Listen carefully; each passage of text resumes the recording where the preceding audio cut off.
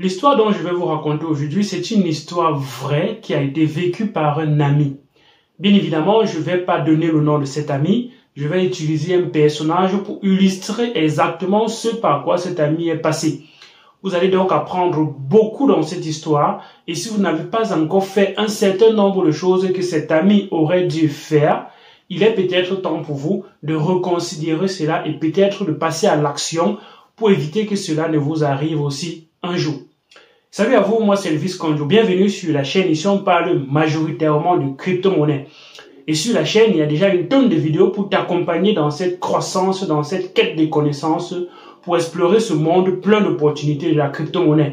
Il y a donc des liens en commentaire, dans la description de cette vidéo pour t'accompagner, que ce soit dans des formations, que ce soit dans le trading, et aussi un bot dont je pense avoir quand même quelque chose d'intéressant et le lien effectivement c'est en description de cette vidéo. Un jour, je reste chez moi et un ami m'appelle. Il est environ 6 heures du matin. Je me dis, mais pourquoi est-ce qu'il m'appelle à 6 heures du matin? Il me dit, ce que je vais te raconter est quelque chose que j'ai vécu. C'est quelque chose qui m'est arrivé cette nuit. Il faut donc prêter très attention parce que ce que je vais te dire est très très très important. Il dit, ok, vas-y, je t'écoute. Et donc il me dit, euh, Elvis, tu te souviens, il y a de cela quelques temps, j'étais malade. Et cet ami était effectivement à l'hôpital. Je l'avais accompagné, je l'avais soutenu à l'hôpital pendant cette période, bien évidemment, où il passait un moment difficile de sa vie, où il a failli presque laisser la vie. Il m'a dit, oui, je me souviens très bien. Et ce que je n'étais pas dit pendant cette période, il y a quelque chose de spécial qui m'est arrivé.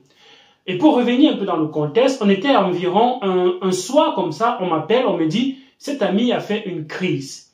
Et donc, je me dirige vers l'hôpital, euh, je me dirige vers la maison où il est encore en train d'agoniser et sa femme était sur le carreau en train de pleurer. Je lui dis, mais pourquoi tu es en train de pleurer? Monte donc dans, un, dans la voiture et on va donc à l'hôpital. Immédiatement, on l'amène à l'hôpital. Une fois qu'on arrive à l'hôpital, il est dans un coma, un coma vraiment profond. Et on ne sait pas s'il va se réveiller. Et donc, euh, on est dans les prières, on est dans les pleurs, sa femme est déjà dans les lamentations avec les enfants qu'il a et l'école des enfants qui est en train de se peaufiner à l'horizon. Et donc, ils avaient ôté pour la haute classe pour ses enfants et la pension n'était pas quelque chose d'assez aisé. Et donc, la femme, elle se posait la question comment elle peut réussir avec tous ces challenges si le mari n'est pas là? Et le mari, c'est une personne qui a investi beaucoup dans les crypto-monnaies. C'est une personne qui est assez investie dans les crypto-monnaies. Il a acheté beaucoup de crypto-monnaies avec son salaire, dont je vais revenir dans une autre vidéo pour vous montrer comment vous pouvez investir dans les crypto-monnaies tout en conservant votre salaire, bien évidemment. Parce que plusieurs personnes me posent la question, est-ce qu'il faut forcément quitter son travail une fois qu'on est rentable dans les crypto-monnaies? Je vais répondre à cette question dans une autre vidéo. Donc lui, il était investi à fond dans les crypto-monnaies et vous imaginez, pendant beaucoup d'années, c'est ce qu'il a fait. Et euh, sa femme ne savait pas forcément tous ces investissements qu'il avait fait dans les crypto-monnaies. Je ne lui ai rien dit pendant cette période parce que je me disais qu'il avait fait le nécessaire au cas où des choses se passeraient mal. Et donc après quelques jours, il sort du coma. Et quand il sort du coma, euh, on est tout content, sa femme est tout contente, et euh, quelques jours après, il va rentrer à la maison. Et donc, quand il m'appelle ce matin euh, pour m'expliquer un peu ce qui s'est passé, il me dit, tiens, quand j'étais à l'hôpital, pendant que j'étais dans le coma, quelque chose de spécial m'est arrivé. Prêtez très attention à ce qui va se passer actuellement. Donc, quand j'étais dans le coma, je me suis rendu compte en train de vivre une vie euh, au-delà de la mort. Et dans cette vie-là, je suis arrivé quelque part. Et dans ce quelque part où je suis arrivé, il y avait des médecins autour de moi. Et ces médecins autour de moi, ils étaient en train d'essayer de me ranimer. Un moment donné, dans cette, dans cette vie que je vivais, j'ai perdu encore la vie. Et pendant que je suis couché sur le lit, en train de perdre la vie, je vois mon âme se détacher de mon corps. Et cette âme que je vois se détacher de mon corps fait un pas vers la porte et arrivé vers la porte, il y a quelque chose de spécial qui s'est passé à, ce moment donné-là. Quand il est arrivé à la porte, il s'est arrêté pendant quelques secondes et il a posé une question. Il s'est tourné, il a regardé sa femme et il a vu sa femme en train de pleurer et il a dit, est-ce que je lui ai donné le nécessaire pour pouvoir continuer de prendre soin de ses enfants Cette question, c'est quelque chose qui a changé tout le cours de l'histoire. Et donc, quand il se pose cette question de savoir si cette femme qu'il a laissée a la capacité, a les moyens nécessaires de prendre soin de ses enfants, euh, va chambouler ce qui va se passer par la suite. Il s'est dit, OK, avec tous les investissements que j'ai déjà fait dans les crypto-monnaies, est-ce que je me suis rassuré que j'ai légué le patrimoine à ma femme? Si jamais le Bitcoin atteint le tout sommet et que j'ai investi, comme j'ai investi majoritairement dans le Bitcoin, est-ce qu'elle a accès à ce portefeuille? C'est là où l'âme va se retourner. Il était déjà à la porte en train de partir. L'âme va se retourner et revenir dans le corps. Avant de revenir dans le corps, il dit ceci, la première chose quand tu te réveilles, lègue les clés de ton patrimoine à ta femme. C'était lui la seule personne qui connaissait où il y avait sa phrase mnémotique. C'était lui la seule personne qui pouvait accéder à ce portefeuille. C'était lui donc la seule personne qui pouvait léguer ce patrimoine à sa femme.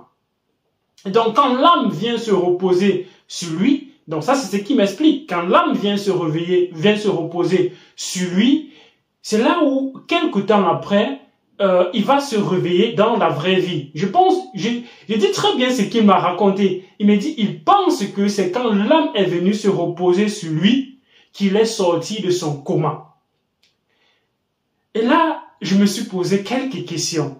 La première question que j'ai posée, c'est qu'est-ce que tu as fait immédiatement quand tu as pris conscience que tu étais à la vie et que tu as vu ta femme, quand tu nous as vus auprès de toi, quand tu t'es réveillé, qu'est-ce que tu as fait en premier, bien qu'est-ce que tu as voulu faire en premier? Il a dit, vu qu'il se souvient de tout ce qui s'est passé pendant qu'il était dans le coma, il a effectivement, il s'est rendu compte que il n'avait effectivement pas légué ce patrimoine à sa femme. Et donc, s'il n'était pas là, elle n'aurait pas eu accès à ce portefeuille qui est gardé très loin, en fait. Et donc, euh, quelques jours après, il a donc expliqué comment la crypto-monnaie fonctionne à sa femme. Il a donc expliqué comment les portefeuilles fonctionnaient, comment elle pourrait avoir accès à cette crypto-monnaie, comment elle pourrait l'utiliser d'une certaine façon. Il est donc entré dans quelques jours après qu'il s'est rétabli, bien évidemment, c'est pas immédiatement. Donc quelques jours après qu'il se soit rétabli, il a donc expliqué ces choses-là à sa femme. Cette histoire va nous rappeler quelque chose qui est très très très important. Ce qu'on met du temps à construire aujourd'hui, est-ce qu'on est prêt jamais à léguer cela à quelqu'un d'autre si jamais on n'est pas là demain? Est-ce qu'on s'est rassuré que quelqu'un d'autre peut avoir accès si on n'est pas là demain? Quand vous avez, par exemple, des biens, vous allez chez un notaire et chez le notaire, vous allez répertorier ce que vous avez dans le cas, dans l'optique de léguer cela comme patrimoine à la prochaine génération, bien à qui vous souhaitez quand vous ne serez plus là. Mais dans le cadre de la crypto-monnaie, si vous donnez la phrase mnémotique à votre notaire, en réalité, le notaire est le propriétaire également de votre crypto-monnaie parce qu'il a le précieux sésame. C'est un peu comme si vous donnez la clé de votre coffre-fort sans simplement lui dire qu'il y a de l'argent dans un coffre-fort quelque part. Mais vous venez lui donner la clé. Donc ce problème-là pose, ce, en fait, ce fait de la crypto-monnaie pose un certain problème pour léguer le patrimoine. Et dans une prochaine vidéo, je vais vous expliquer comment vous pouvez effectivement léguer ce patrimoine à la prochaine génération sans pour autant compromettre les clés euh, de votre portefeuille. Et donc, ça c'est ce qu'il a fait. Il a confié le patrimoine à sa femme, proprement dit. Donc, sa femme a également accès euh, au portefeuille, à la clé privée. Et donc, il est maintenant un peu plus safe au cas où quelque chose de ce genre lui arrivait encore demain. Et donc vous, qu'est-ce que vous avez retenu de cette histoire? Ce que j'ai retenu de cette histoire, c'est que quelque part, d'une certaine façon, notre subconscient est en train de travailler. Notre subconscient peut à un moment donné nous sortir de certaines situations et je pense que ce subconscient dans la crypto-monnaie a joué un rôle très très fondamental et c'est peut-être la raison pour laquelle cet ami est encore en vie aujourd'hui. Parce que peut-être euh, ce compromis-là, ce fait qu'il n'avait pas fait ce qu'il ce qu'il aurait dû faire, lui a quand même sauvé la vie d'une certaine façon. Est-ce que c'est un message qu'on voudrait passer à la prochaine génération, à ceux qui sont dans les crypto-monnaies, à ceux qui travaillent du aujourd'hui? Est-ce que c'est un message qu'on doit leur passer que un jour, tôt ou quelque chose peut vous arriver du jour au lendemain? Et si ça vous arrive du jour au lendemain, est-ce que vous avez fait le nécessaire pour que votre patrimoine puisse être bénéficié, euh, puisse bénéficier à ceux qui vont rester après vous et ceux pour qui vraiment vous étiez en train de travailler pour accumuler ce patrimoine. Quand tu accumules le patrimoine, généralement, bien dans la plupart des cas, c'est pas pour toi. C'est pour tes enfants, c'est pour la famille, c'est pour ceux qui vont venir après. Euh, et donc, euh, est-ce que tu t'es rassuré que ce que tu fais aujourd'hui peut éventuellement leur profiter demain? On ne sait pas, on, ne connaît ni, ni le jour ni l'heure, et donc ça peut arriver à tout moment. Pour le cas de cet ami, il a eu une exception. Il y a eu quelque chose qui s'est passé avant qu'il ne parte et c'est quelque chose qui peut ne pas arriver à tout le monde. C'est quelque chose qui peut arriver à certaines personnes, mais quand on joue, quand ton heure va arriver, ça sera pas forcément le cas. Ça peut être dans un accident, ça peut être d'une quelconque façon. Il n'y a pas toujours façon euh, propice de perdre la vie, mais ça peut arriver de toutes les manières en fait. Donc aujourd'hui, qu'est-ce que tu as fait pour te rassurer que ta crypto-monnaie sera encore safe, utilisée, utilisable quand tu ne seras pas là. C'est juste dis-moi si tu as appris quelque chose de cette histoire. Dis-moi en commentaire si, cette chose est déjà arrivée et ce que tu penses de cette histoire et envoyer des cœurs pour cet ami euh, qui est sûrement un exemple qu'il faut suivre, euh, en fait, qui est venu nous apprendre, nous donner une leçon au travers de son histoire que j'ai racontée. Euh, bien évidemment, il y a quelques détails que je n'ai pas mentionnés pour éviter euh, qu'on puisse remonter jusqu'à la personne, bien évidemment. Si c'est le vice conjo, like et partage la vidéo et permet à d'autres personnes de nous découvrir. Les liens pour les formations et tout ça, c'est en description de cette vidéo. À d'autres vidéos sur la chaîne. Porte-toi bien. Ciao